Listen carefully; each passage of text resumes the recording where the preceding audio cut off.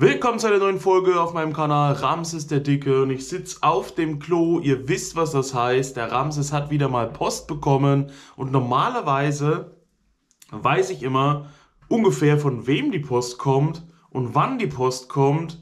Jetzt weiß ich aber gar nichts. Das macht es für mich heute so spannend. Ich habe nämlich ein Paket bekommen, völlig aus dem Nichts.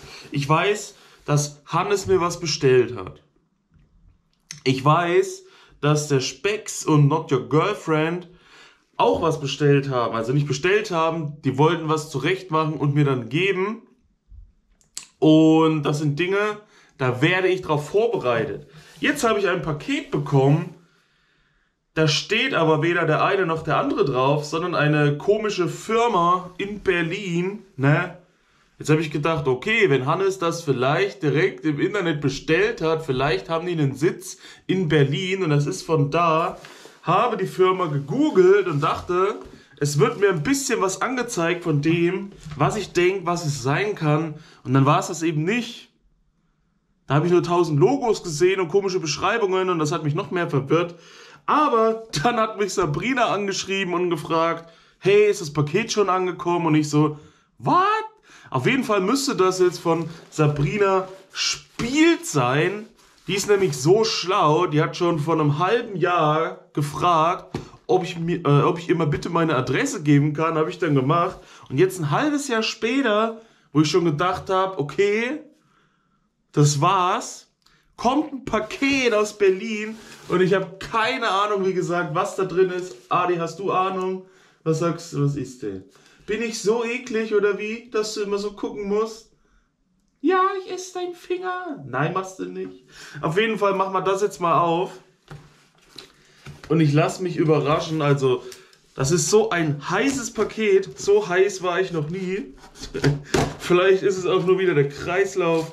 Deswegen ist heiß. Ähm, was gibt sonst noch? Ich müsste endlich mal die Bewertungen bei NR Battle machen. Also so einen so einen Stream, um mir die Qualifikationen reinzuziehen. Vielleicht mache ich das heute tagsüber. Dann ist heute Abend ja wieder Kaumalat. Für Zuschauer muss ich auch wieder einladen. Dann wollte ich das wegen dem C-Day und Roselia ankündigen, da noch ein Video machen. Dann wollte ich heute Nudeln machen mit Pesto, mit einem Glas Pesto, was ich gefunden habe. Wo geht's denn hier auf? Ich habe keine Ahnung, wie man das aufmacht. Oder wo hier eine das ist einmal hier rüber und einmal da drunter und dann. Ah, das ist sinnlos. Da hat man schon eine Schere und alles und man kommt trotzdem nicht klar mit gar nichts. Wird also heute wieder ein vollgestopfter Tag und das versuche ich natürlich auch abends noch rauszubringen, hochzuladen. Jetzt machen wir das hier aber mal auf und sehen eine Schnur mit einem, ein ganzes, oh guck mal, ist schon für Weihnachten nächstes Jahr, ja. Hier ist so ein, so ein Paket, da ist auch ein Zettel bei. Das gucken wir uns gleich mal an. Also ein, ein Tütchen. Denn wir haben noch andere Dinge hier. Wir haben hier einen Wichtelwilli von Milka. Ein Wichtelwilli von Milka Edelvollmilchschokolade dekoriert mit weißer Schokolade, Zartbitterschokolade und weißer Schokolade mit färbenden Pflanzenkonzentraten. Also ist die rote Mütze eigentlich auch weiße Schokolade, ist nur rot angemalt. Den stellen wir auch mal hier auf die Heizung, weil die Heizung ist warm, damit das schön, ähm, was ist denn? Brauchst du diese Willst du die Umrandung haben? Damit kannst du spielen. Die tue ich dir mal hier reinpacken. Das ist bestimmt voll lustig und so. Da, so wie. Jetzt guck doch nicht so. Ach du Scheiße. Da sehe ich was, was ich schon angekündigt hatte. Jetzt ist es eingetreten, jetzt ist es da.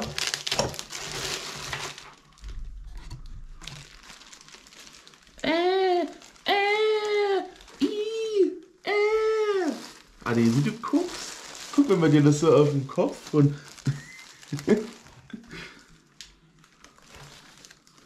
ja, du machst das schon. Von so ein bisschen Folie wirst du jetzt nicht sterben. Genau, ess dir einfach auf, wie du es immer machst. Das ist. Was denn? Ah, durchdrehen. Gib die her, Pui. So, jetzt muss ich es wieder hier aufs Klopapier stellen. Ich bin immer noch nicht ganz fit im Kopf, sorry. Wir haben hier ein, ein Weihnachtsmann mit, mit Armen, ja, mit Mütze, mit Beinen, ja, und mit einem Loch drin. Kann ich da ein Teelicht reinstellen? Der ist, das ist aber ziemlich klein für ein Teelicht. Sonst hätte ich gedacht, da packst du ein Teelicht rein, dann leuchtet das hier durch den Bauch durch, weil da lauter Sterne sind, aber gut, ich glaube, wenn ich da ein Teelicht reinstelle, dann huste einfach nur zu. Hä? Keine Ahnung. Ich glaube, ich bin einfach zu blöd. Vielleicht ist es einfach nur ein Weihnachtsmann zum Hinstellen und zum Füße äh, runterbaumeln lassen. Guckt euch das an. Sieht das nicht gut aus, wie der hier jetzt abwechselnd mit den Füßen und so rummacht. Den legen wir auch mal hier drauf. Aber wieso sind dann lauter so Sterne reingeschnitzt als Löcher, wo man durchgucken kann? Als müsste der von innen leuchten. Ich check das nicht. Dann habt ihr hier noch eine Kerze. Ja? Guck, wenn wir die hier reintun, Ah, das passt nicht, verdammt. Ist auf jeden Fall ein Teelicht, aber gleichzeitig auch ein Tannenzapfen zum Anzünden. Und davon haben wir zwei Stück hier drin. Also wenn wir die uns abends romantisch hinpacken, beim Wrestling oder so, dann erscheint das alles in einem ganz anderen Licht. Zusätzlich habt ihr hier eine große Kerze. Eine rote große Kerze. Ach ja, die ist immer noch beschäftigt mit seiner Folie. Ich glaube, das dauert jetzt noch 10 Jahre. Dann haben wir ein Red Bull, wo die Dose aussieht, als wurde da auch schon mit Fußball gespielt. Aber auf jeden Fall ohne Zucker, zuckerfrei, weil sie möchte ja, dass ich mich gesund ernähre. Deswegen auch so viel Schokolade und Kerzen, weil wenn ihr erst Kerzen esst und das Wachs auf der Zunge habt, dann könnt ihr auch scharfe Sachen essen, ohne dass ihr das merkt. Merkt ihr dann nur innerlich, aber nicht beim Essen. Ein Red Bull Sugar Free ist auch noch mit drin. Was ich hier sehe, darüber hatten wir es mal im Stream. Das müsste nämlich ein Beutel mit Chili sein. Und sie hatte ja schon gesagt, dass ihr Kollege oder irgendwas oder sie kennt jemanden, der da so Chilis anbaut. Richtig brutale, richtig scharfe, richtig äh, fiese, gemeine Chilis. Ich will jetzt nichts Falsches sagen. Hieß es dann nicht auch diese Carolina Reaper Chilis? baut er an oder hat er oder so ähnlich oder irgendwas. Auf jeden Fall sind hier große, dunkle Fette drin. Hier sind kleine rote, hier sind kleine gelbe, hier ist, sieht aus, als wären das alles verschiedene. So eine kleine bunte Mischung. Bin ich mal gespannt, was man damit macht, denn die sind ja alle ausgetrocknet. Nimmt man die einfach und isst die so als Snack? Oder macht man die irgendwo dran? Oder ich habe leider keine Ahnung. Sind die da noch so scharf, wenn die so trocken sind? Oder sind die innen drin noch nass und feucht? Also, schickt am besten immer eine Gebrauchsanweisung dazu, dass der Ramses weiß, was es ist und was man damit macht. Ja, hier, Adi, hier kriegst du nochmal was. Jetzt sieht es aus wie ein Packesel. Und wir haben ja hier diese Tüte noch mit einem Zettel dabei, wo auch drauf steht, liebe Grüße Sabrina. Oh, jetzt Zettel und was ist hier?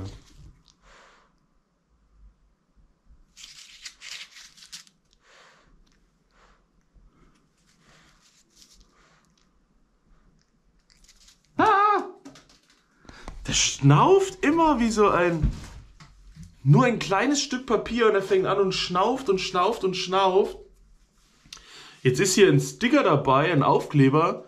It's, it's time to trade. Ja, hier, das ist ein Pokeball, das ist ein Superball, das ist ein Hyperball. Wer das nicht erkennt. Das sind sogar auch einzelne Sticker.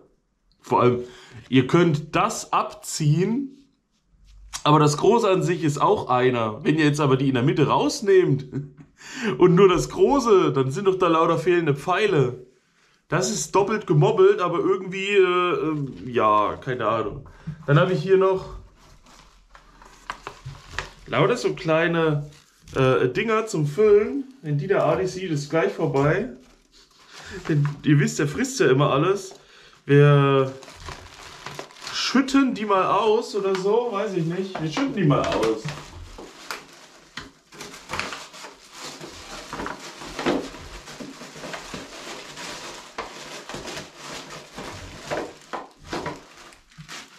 So, wir haben es ausgeschüttet, ohne dass der Adi was mitbekommen hat. Dann ist hier noch ein Gummi drum. Um die Tüte. Das machen wir auch mal ab. Oh. Geht auch. Jetzt soll ich es einfach so aufziehen.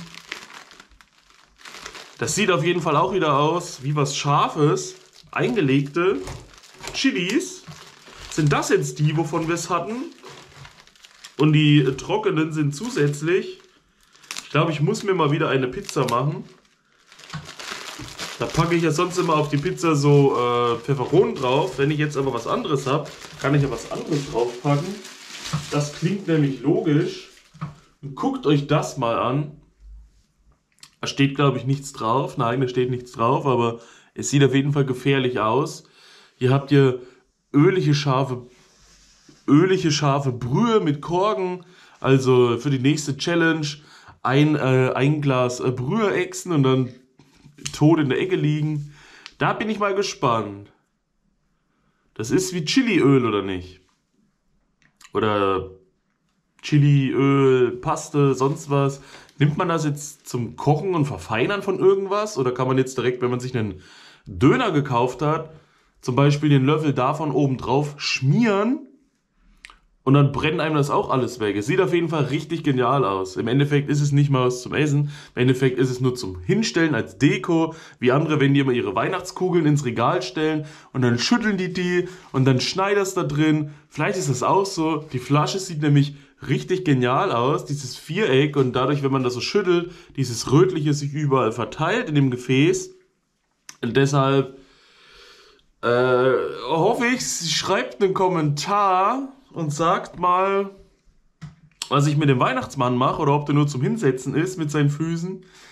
Und was ich hiermit mache, ob ich das zum Würzen nehme oder, oder, oder und, und wie man die getrockneten Chilis isst am besten. Oder kann ich mir die auch so einfach auf eine Pizza zum Beispiel drauflegen? Das stört aber jedes Mal der grüne Zipfel, wenn ich den noch abmache. Oder was macht man damit so an sich? Ich kenne nur eingelegte Sachen im Glas als ganze Teile. Aber das sind jetzt ja auch nur ja gut, das sind Chili-Flocken am Ende des Tages oder sowas. Oder ich habe keine Ahnung. Auf jeden Fall hat sie an mich gedacht, hat an was Scharfes gedacht, was Süßes dabei, ein bisschen Pokémon. Inhalt ist auch dabei. Jetzt wollte ich sagen, Klopapier war auch dabei, aber nee, das stand ja schon hier, damit ich mein Zeugs da drauf stelle. Äh, Kerzen, das Weihnachtliche, Winterliche, noch eine Sammelfigur. Danke auf jeden Fall. Grüße gehen raus an Sabrina. Und ich bin gespannt, was sie noch dazu sagt. Sie wird sicherlich da einen Kommentar abgeben. Und ja, wir gucken mal. Jetzt sitze ich hier wie so ein Dulli und hey, was ist denn jetzt mit ihm? Ich weiß es auch nicht. Alles gut. Ich bin nur einfach immer noch verwirrt, komplett. Kann ja heute die Kerzen anmachen, wenn Pupsi kommt und dann sagen, guck mal, da brennt was. Und dabei meine ich dann einfach nur die Chili schon. Wer weiß das schon. Nee, das war es auf jeden Fall von meiner Seite aus. Ich versuche mal die anderen Sachen zu realisieren, alle, dass wir das heute hinkriegen. Mit der Folge, mit der Folge, mit dem Stream, mit dem, die, das, da, do. Ich glaube, heute geht es mir trotzdem etwas besser als gestern. Deswegen wird es heute vielleicht nicht mehr so weird. Das war es auf jeden Fall von meiner Seite aus. Wir sehen uns beim nächsten Mal. Bis dahin. Peace out. Vorhaut. Euer knuspriger Hardy. Na, schmeckt der Finger, Junge. Uh, uh. Ja, ihr müsst immer an den Bauch. Das mag er nämlich nicht. Und dann hüpft er meistens irgendwo runter und dann war's das.